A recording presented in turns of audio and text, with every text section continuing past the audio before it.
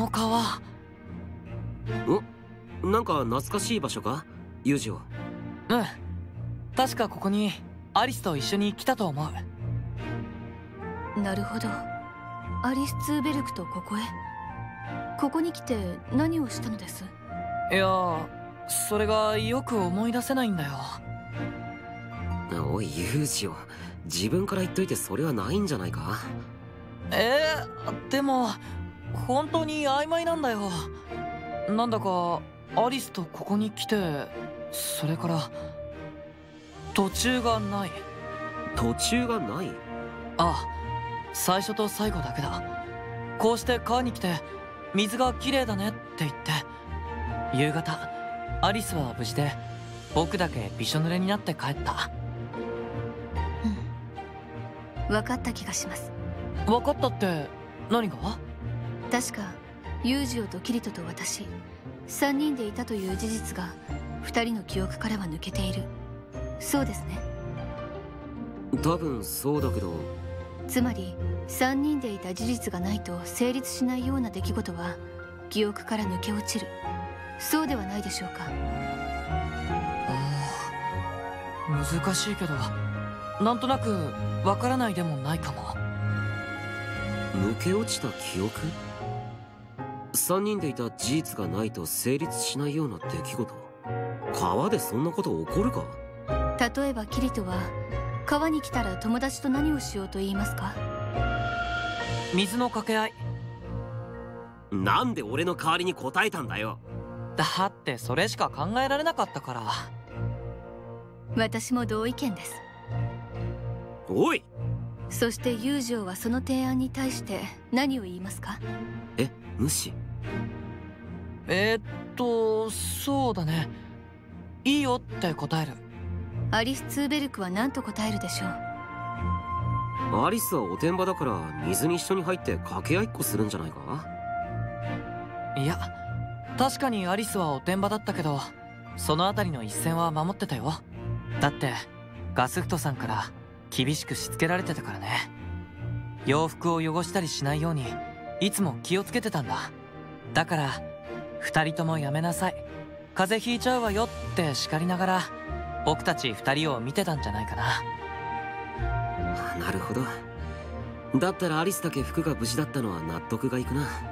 今のアリスなら水に一緒に入って徹底的に応戦しそうだけど。ちょっとどういう意味ですか？私はそんな子供っぽいことしません。そうだよ。子供っぽいのはキリトだけねえそりゃないぜ。友情までアリス側につくなんて。キリトはいつまでたっても子供だからね。ええ本当に。不思議と訪れたことがないのに懐かしいような気がします。ああ俺もだよ。アリスとユージオと俺の3人で昔もここにいたっていうのが自然に感じられる。うんそうだね。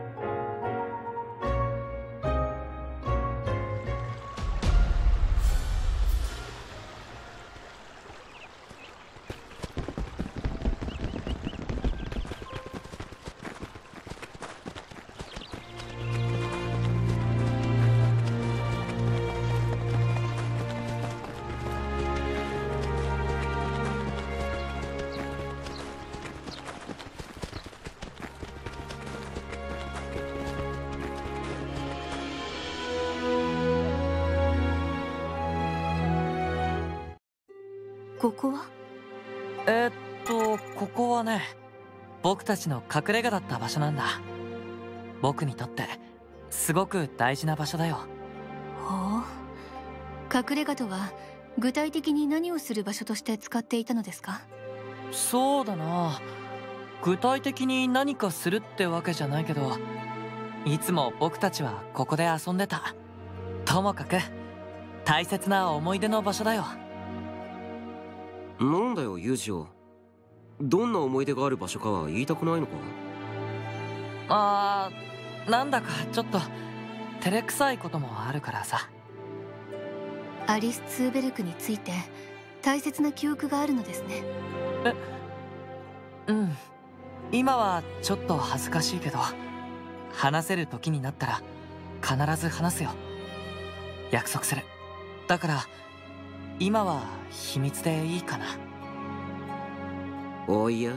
裕次郎君顔が赤いぞ。さては相当恥ずかしいことと見た。だからそういうのじゃないってば。わかりました。ではまた話してください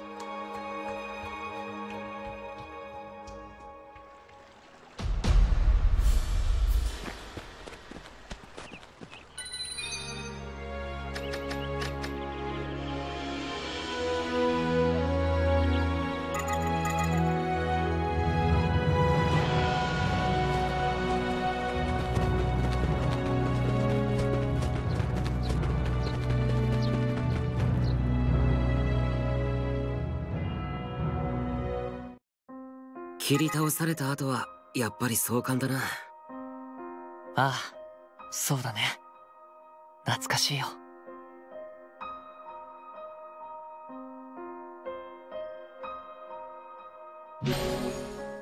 アリス・ツーベルクはここに来たことが？あるよ。いつもお弁当を作って持ってきてくれた。確かこの辺りの芝生に敷物を広げて座って一緒に食べたな。うまいパイが入ってたんだっけ？そうだよ。甘酸っぱくてお肉や野菜の具が入ったパイ。他にもお弁当はすごく具沢山で美味しかったな。そうなのですか。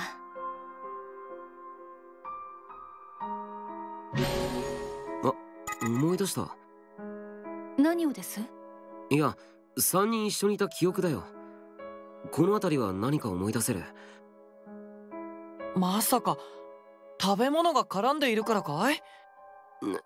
認めたくないけどそうかもしれない。まったくお前は。そうそう。アリスの届けてくれる弁当めちゃくちゃうまかったんだよな。でもすごく出来がいい時はアリスのお母さんが手伝ってるんじゃないかって確か友情と話してて。ちょちょっとキリト。キリト？それは私に？いえアリス・ツーベルクに対して非常に失礼だとは思いませんか？ごめんごめん。でもあのパイは絶対にアリスが作ってるなって思ってたぜ。第一あんなちっちゃい女の子が自分と食べ盛りの男2人を合わせた3人分のお弁当を1人で作るのは無理があるって。もう一体何を思い出しているのです？ごめんねアリス。繊細さがないやつで。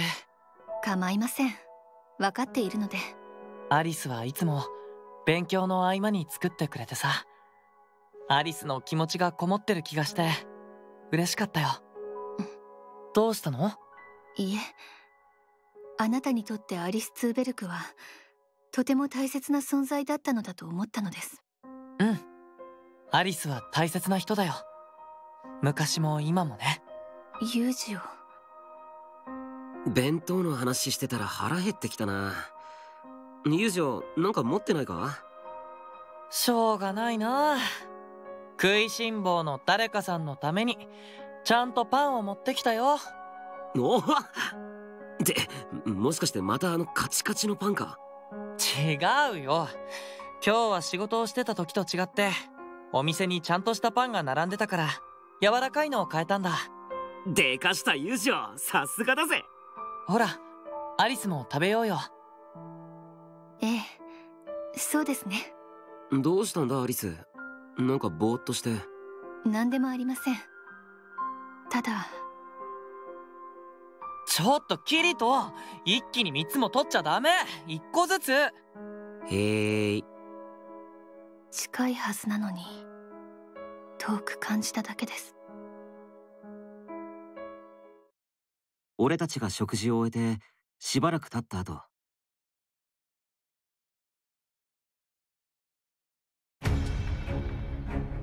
もしかして。まさか行くよ。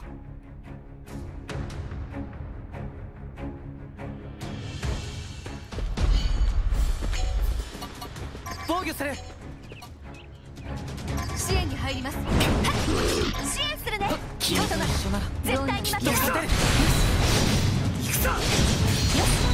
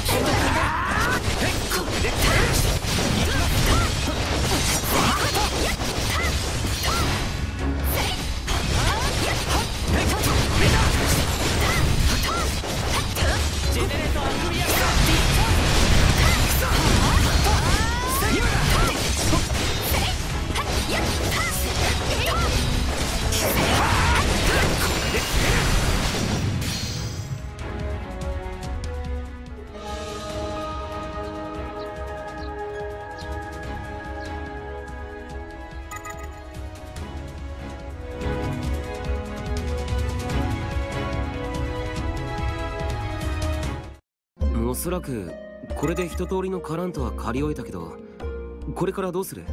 まだもう少しルーリットを見ていくかい？アリス。いいえもう大丈夫です。魔獣を倒しカラントを切ることができましたし北の洞窟も見に行くつもりでしたがもう時間もないことです。それによくわかりましたから。アリス？そうなのかい？じゃあ戻ってみんなと合流しようか。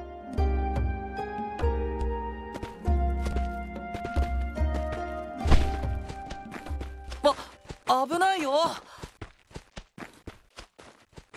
あユージオ大丈夫か？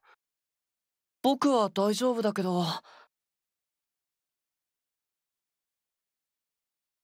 あれ？どうしたんだ？さ財布がないさっきまで持ってたのに。僕落としたのかな？あいや確実にスリにあったんだろあそんなのありえないか。近畿目録で窃盗は禁じられている。ですのでそんなことが可能だとは信じられません。それに1日以内に財布を持ち主に返せば近畿目録違反にはならないよ。そうだよな。でもともかくあいつ追ってみようぜ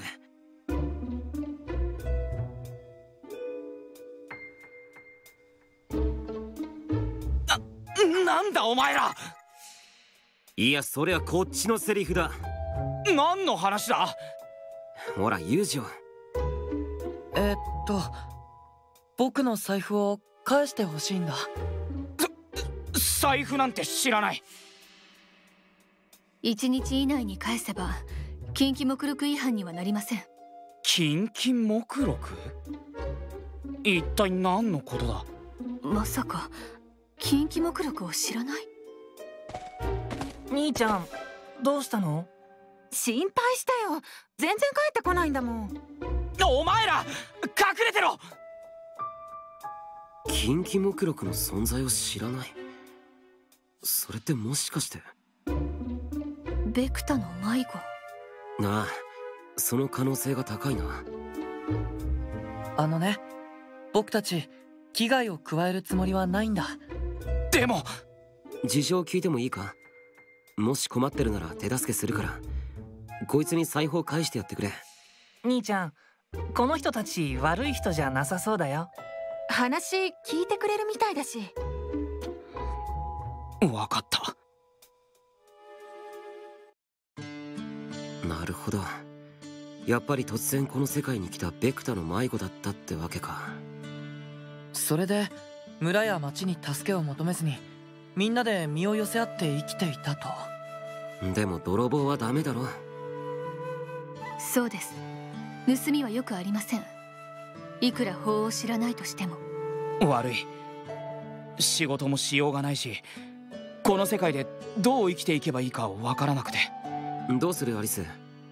ここからはルーリットの村が近いけどそこで保護してもらうか？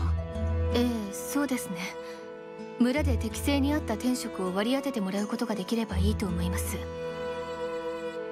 確かに自分に合った仕事をしながら過ごしてもらうのが一番だよね。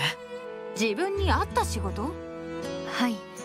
あなた方さえ良ければ村で何か仕事をしながら生活してもらおうと思うのですがあなた方にどのように生きたい何をしたいという希望はありますか？僕は釣りがしたい。得意なんだ彼ら冒険者 NPC にははっきりとした記憶のデータがない。だが好みや趣味思考といったものはきちんと存在する不思議な存在だ。一体彼らは何者なのか？私は力仕事が得意よ。重いものを運んだりする仕事なら任せて。えーっと裁縫とか型紙書くとか服作る仕事ってなんかないか？わかりました。みんなそれぞれにしたいことがあるのですね。何にせよガスフトさんに聞いてみないとな。仕事を与えたりできるかどうか。それではキリとユージを手間をかけますが彼らに転職を与えてくれるようといえガスフト・ツーベルク村長に頼んでくれませんか？私が直接会うと何かと問題が生じると思いますので代わりにどうかお願いします。分かったよ。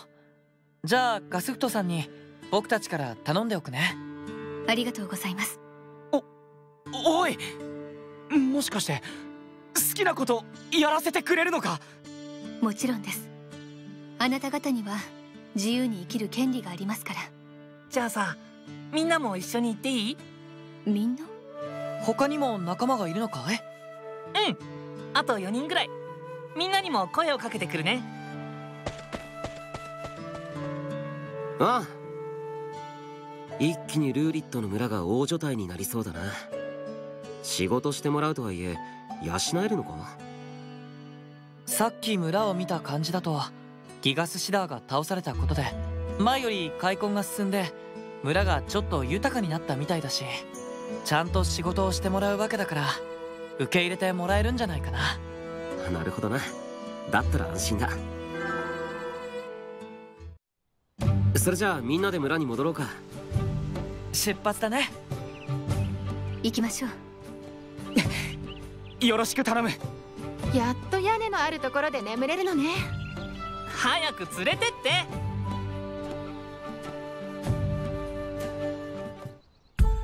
キリトにアリス様ユージをようメディナ。ただいま。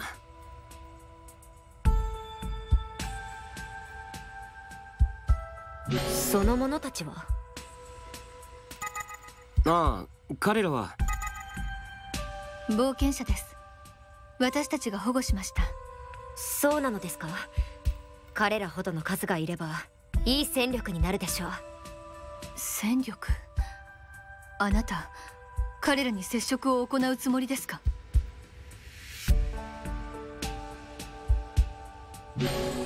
ま まあまあ落ち着けよアリス。どうやらすっかり私はアリス様からの信頼を失ってしまったようですね。いえそういうわけではありませんが。前回は確かにやりすぎてしまいました。しかし今回はきちんと話をしてから冒険者にお願いをします。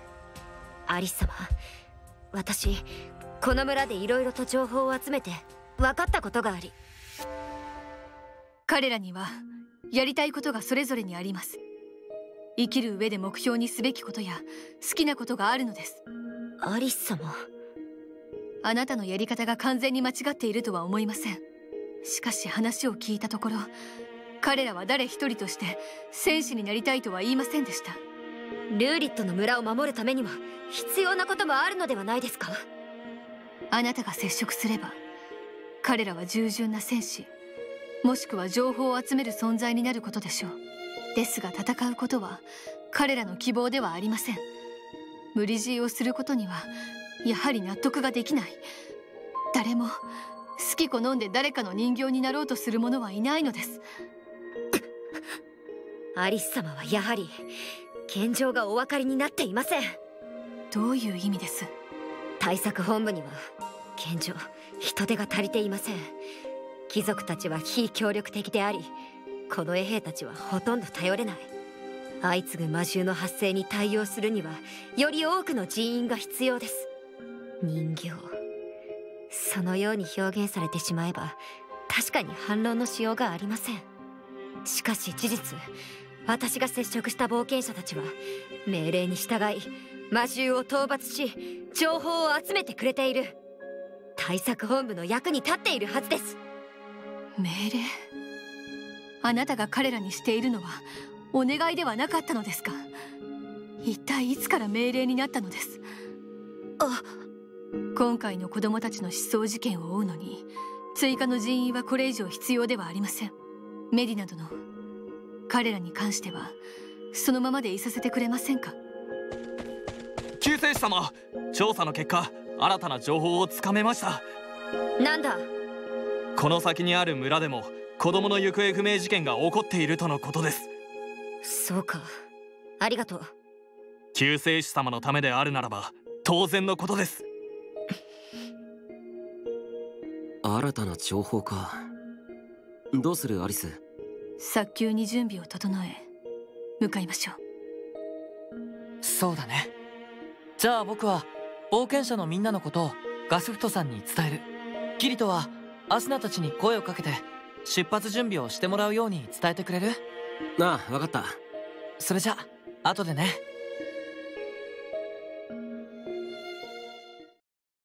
出発準備を進めた後夜も遅くなったため俺たちはルーリットの村の近隣で野営することにした。そして出発は翌日と決めて野営場所を探していた時意外な人物に会う。なあれは？どうもです。ヤッホーキリト。奇遇だな。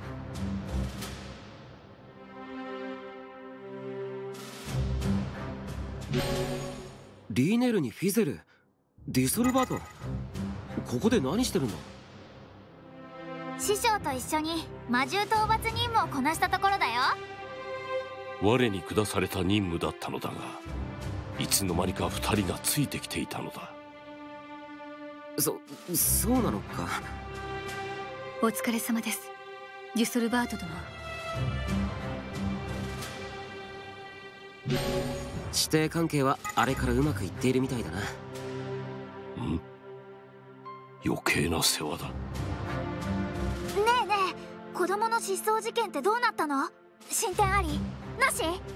困ってるなら私たちが調査に協力してあげてもいいよ。お前たち何を言っている？早く対策本部に戻るぞ。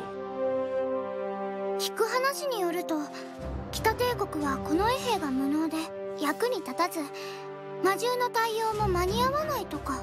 討伐の時は私たち役に立つし子供だから情報調査も怪しまれずにできるよ。人手が増えるのは助かりますが私たちだけで問題ありませんよ。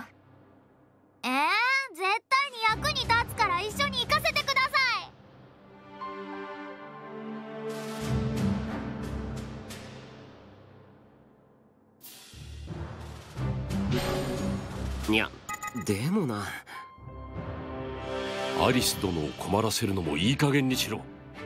なすべきことは他にあるはずだ。北帝国は魔獣がいっぱいだよ。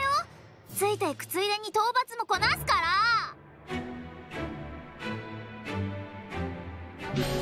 ダメだ。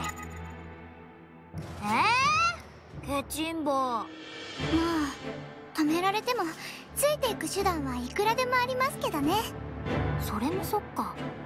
よし。おいよしとは何だ？何でもありません。失踪事件の調査に行くのは諦めました。では帰りましょう師匠。アリス殿すまないが我らが同行してもよいだろうか。足手まといにならぬよう二人は我が見張っておく。えええデュスルバート殿がそうおっしゃるならば。もしかしてついていっていいの？事実北帝国での魔獣発生情報は絶えず。これからも我らは北帝国に滞在する必要がある。重大な事件を追うアリス殿たちと行動を共にしつつ魔獣を倒していけばカラントコアなるものにたどり着ける可能性がある。そしてお前たちは放っておくと何をするかわからぬからな。長い付き合いだからリネルの言ったことがシャレにならないと思ったんだな。ありがとう師匠大好き。さすがは私たちの師匠です。信じていました。わざわざ我についてきたのはそれが狙いだったのか違いますよ。師匠の武術はこの目で見たかったからです。そうそう。全然不純な動機なんかじゃない。なあ。まあ頼りになる仲間が増えたってことかな。ええ。一抹の不安は感じますがデュソルバート殿がいらっしゃいますから。